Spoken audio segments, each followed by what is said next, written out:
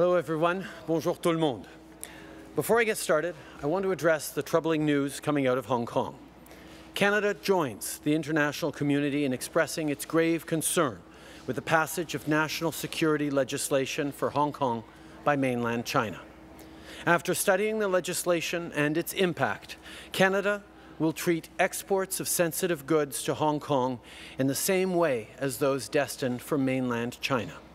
Effective immediately, Canada will not permit the export of sensitive military items to Hong Kong. We are also suspending the Canada-Hong Kong extradition treaty and updating our travel advisory for Hong Kong. Canada is a firm believer in the one country, two system framework.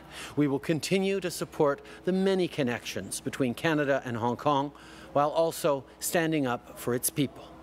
In the days and weeks to come, we're also looking at additional measures, including around immigration.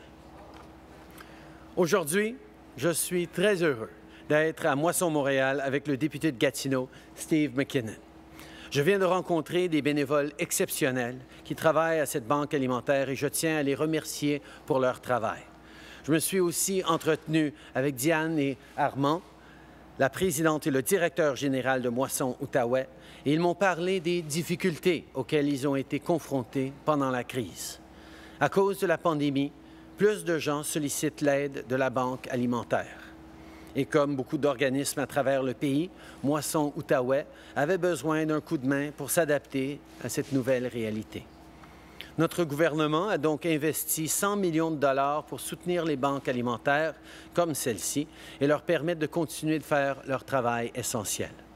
Pour Moisson-Outaouais, ces fonds leur ont permis d'embaucher plus de chauffeurs pour effectuer des livraisons et acheter plus de nourriture. Over the last four months, Canadians have come together to help each other and keep each other safe. It's taken a lot of hard work and many sacrifices, but it's starting to pay off. We are controlling the spread of the virus. And because the situation continues to improve, we can now pick up where we left off on many of the things we had to put on hold over the spring. As a first step, we're moving forward on 92 infrastructure projects in British Columbia under the Investing in Canada plan. All told, these investments amount to $150 million and will create good, well-paying jobs right across BC. I'd like to thank Premier Horgan for his support and partnership throughout this process.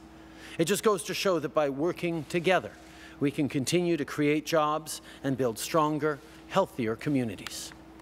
Alors qu'on poursuit la relance de l'économie, la priorité de notre gouvernement, c'est d'aider à bâtir des communautés plus fortes et prospères. Une partie de ce travail consiste à aider les gens à retourner travailler. À travers le pays, nombreuses sont les entreprises qui utilisent la subvention salariale d'urgence pour réembaucher leurs employés. Dans l'ensemble, on parle de 2,8 millions d'employés qui sont maintenus en poste grâce au programme. Et grâce à d'autres initiatives comme l'aide d'urgence au, Canada pour le loyer commercial et le compte d'urgence pour les entreprises canadiennes, on soutient les entreprises qui sont au cœur de notre économie. Mais on sait qu'il reste encore beaucoup de travail à faire. This morning, I can announce that our government is taking yet another step to help Canadians get the training and support they need to find good, well-paying jobs. As part of our annual funding, we're investing $40 million over three years in the Union Training and Innovation Program. Skilled tradespeople are a vital part of our workforce. They build our towns, our cities, our communities, and they will play an important role as we restart the economy. This pandemic has been an unprecedented challenge for our country. And as I've said right from the start, our response to COVID-19 will evolve as the situation changes. Next week, I'll be hosting a two-day virtual cabinet retreat. This will be an opportunity to map out our approach going forward to keep Canadians healthy and safe and keep our economy strong. We will also discuss how we can make our country more resilient to potential future waves of the virus. Of course, COVID-19 is not the only challenge that Canada faces, so this retreat will be a chance to move forward on addressing systemic discrimination and systemic racism.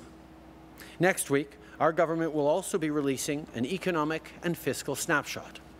This report, which Minister Morneau will present to Parliament on Wednesday, will give Canadians a picture of where the economy is right now, how our response compares to that of other countries, and what we can expect in the months to come. Speaking of next week, let me also remind people who receive old age security benefits and the guaranteed income supplement that you will see an increase in your benefits this coming week. In May, we announced that this one-time boost, we announced this one-time boost of $300 for OAS and $200 to the GIS. Together, this means if you get both benefits, you'll receive an additional $500. Je tiens aussi à rappeler à tous ceux qui reçoivent la sécurité de la vieillesse et le supplément de revenu garanti que leurs prestations vont augmenter la semaine prochaine. En mai, on avait annoncé que les gens recevraient 300 dollars de plus par l'entremise de la sécurité de la vieillesse et 200 dollars de plus grâce au supplément de revenu garanti.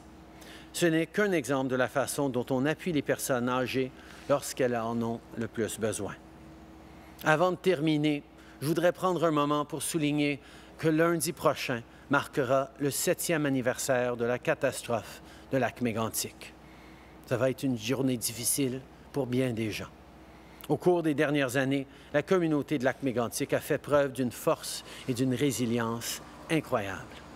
Alors qu'on se souvient de ceux qu'on a, perdu, a perdus, nos pensées accompagnent les familles qui ont été touchées par cette tragédie.